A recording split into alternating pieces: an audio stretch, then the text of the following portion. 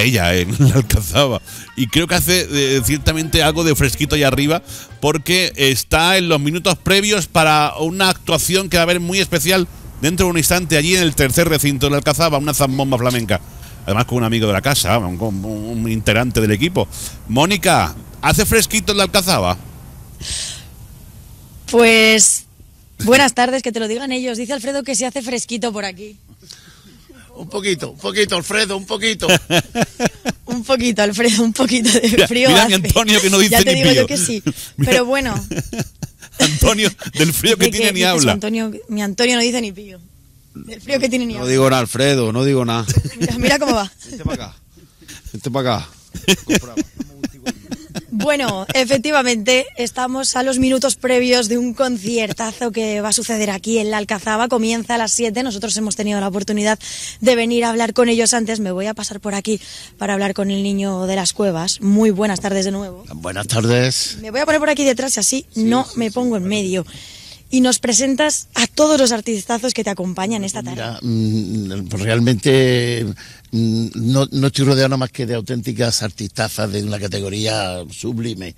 Antonia López, eh, su hija Rocío Segura, su, la, hija, la nieta de Antonia y hija de Rocío Soleá, Anamar, el, el, el niño del niño, que está aquí, y bueno, yo ya sabéis quién soy que, que, pues rememorar un proyecto precioso que, que partió de la idea de, de, nuestro querido Antonio Segura, que ya no está con nosotros, pero sigue estando, sigue estando en, en presencia aquí con, con, con, nosotros, porque esto es una cosa que él tenía mucha ilusión y todos apoyamos ese proyecto.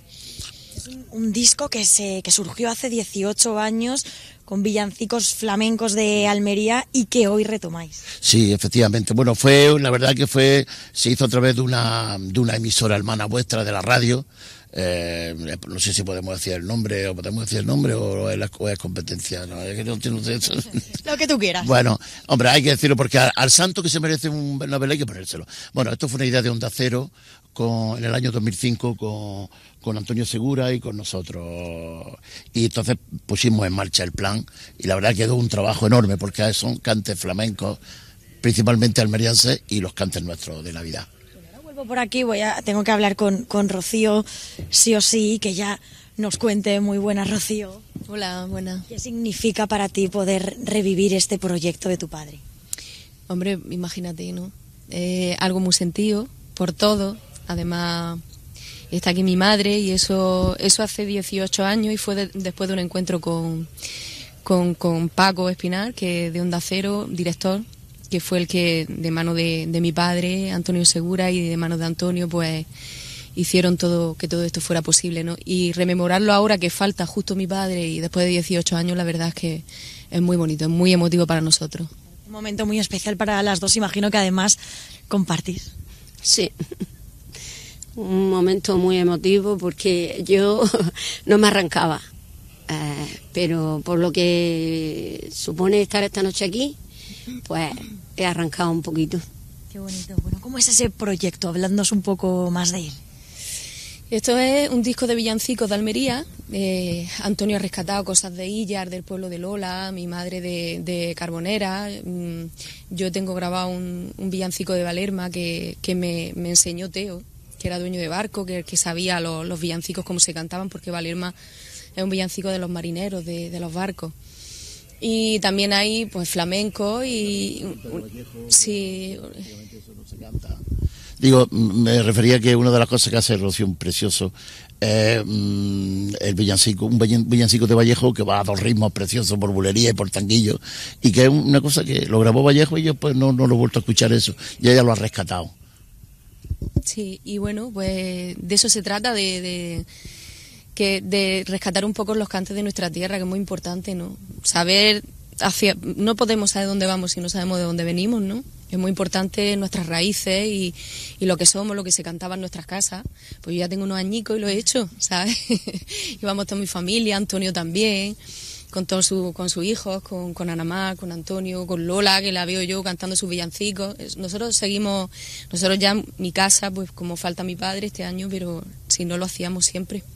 Bueno, y eso ponéis, es muy importante. Hoy ponéis e- ese color, esa música, ese concierto en homenaje a tu padre. Yo me quedo con muchas ganas de escucharos. Esto empieza, te lo decía Alfredo, en breves a las 7, pero vamos a tener la suerte de escucharos un poquito antes, ¿no? Sí, un poquito. Alfredo, yo me voy a retirar. Muchísimas gracias a todos y os voy a dejar escuchando esta maravilla de villancicos flamencos, como nos contaban, de nuestra tierra, que retoman después de 18 años.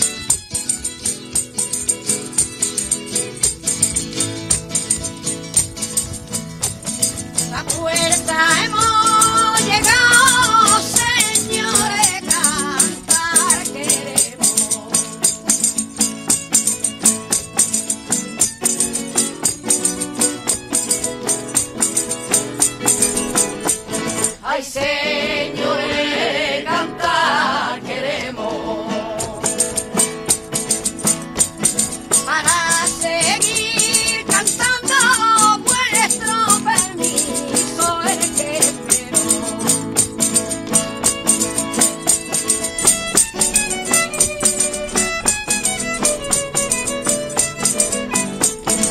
Ay,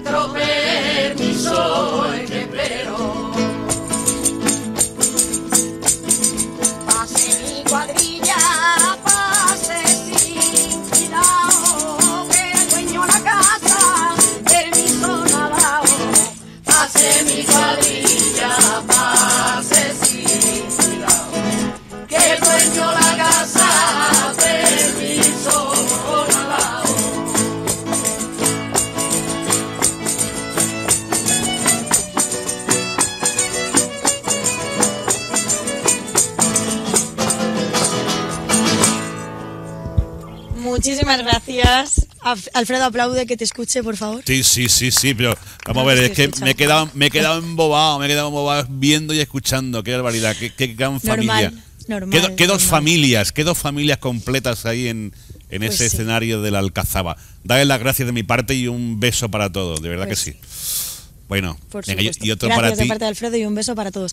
Estáis a punto de venir. O sea, a tiempo, a punto no, a tiempo. o sea que Y a llegamos, punto también. estamos a tiempo. bueno, Que llegáis a punto y estáis a tiempo. Venga. otro beso para ti que después te pones celosa. Voy contigo en un rato, venga, hasta ahora. Gracias. hasta Hasta ahora.